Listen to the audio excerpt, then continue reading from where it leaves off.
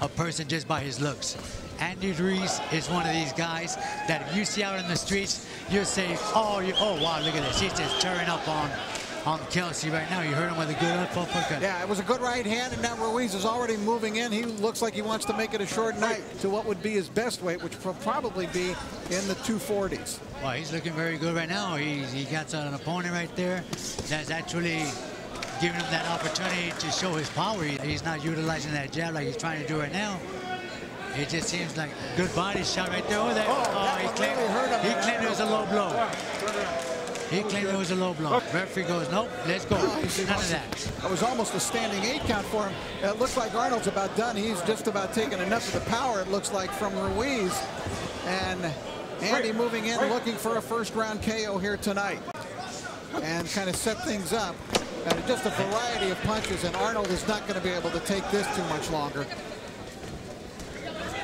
Come to the end of round one.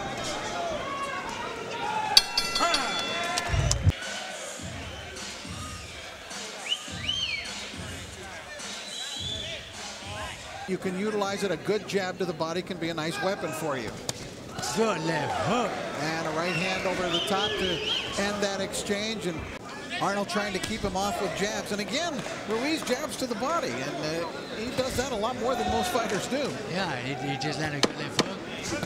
Oh, good right hand. As you notice, that jab to the body will at times Oh, put Ruiz.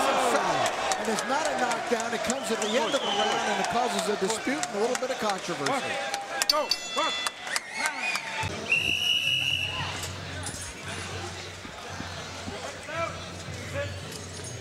Ruiz comes in again, still using that jab to the body. Now goes in flat with a flashy combination. Almost loses his footing, however.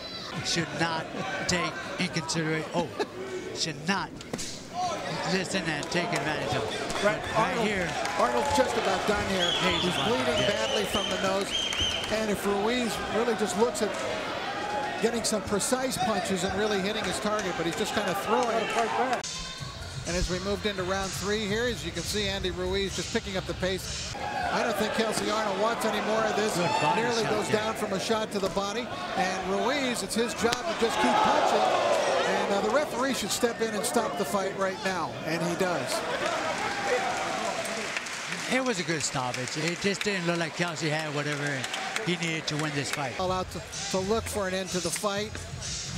And frankly, it looked to me like Arnold was about ready for this thing to end too. And David Mendoza stepped in and just called it at, at that point.